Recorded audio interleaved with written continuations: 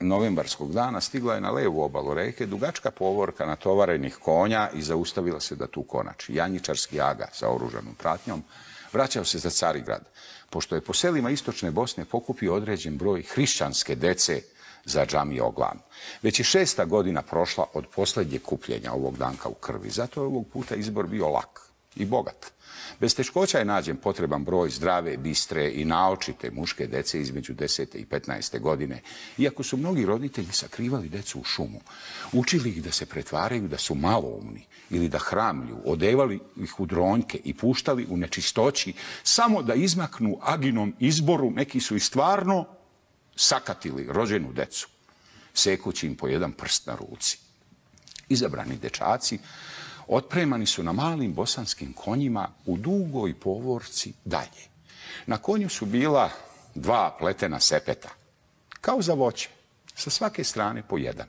I u svaki sepet metan je po jedan dečak i sa njim mali zavežljaj i kolut pite. Posljednje što nosi iz očinske kuće.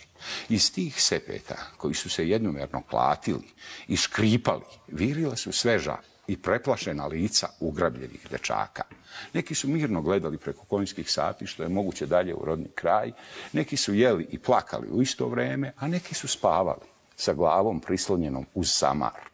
Na izvesnom odstojanju od posljednjih konja u ovom neobičnom karavanu išli su raštrkani i zadihani mnogi roditelji ili rođaci ove dece koja se odvode zauvek da u tuđem svetu budu obrezana, poturčena, i da zaboravivši svoju veru, svoj kraj i svoje poreklo, provedu život u janjičarskim odama ili u nekoj drugoj višoj službi carstva.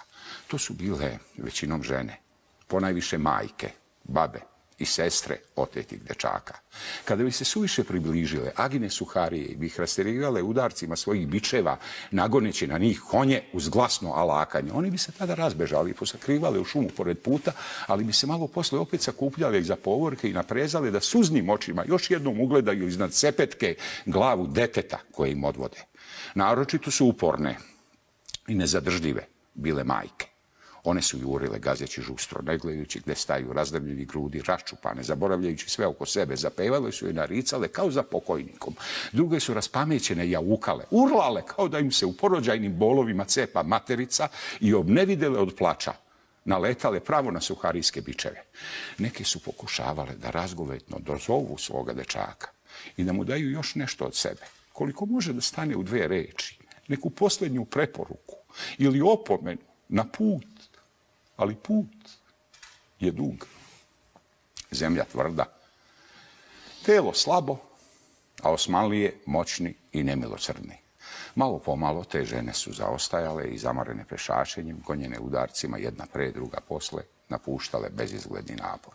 Ovde, kod Višegradske skele, morale su da zastanu i najupornije, jer ih na skelu nisu puštali, a preko vode se nije moglo. Tu su mogle mirno da sede na obali i plaču. Tu su čekale kao kamenjene i neosjetljive na glad, žeđ i studen, sve dok ne bi na drugoj obali reke još jednom ugledale otegnutu povorku konja i konjanika kako zamiče i u njoj još jednom naslutile rođeno dete koje im gine iz očiju. Tiko,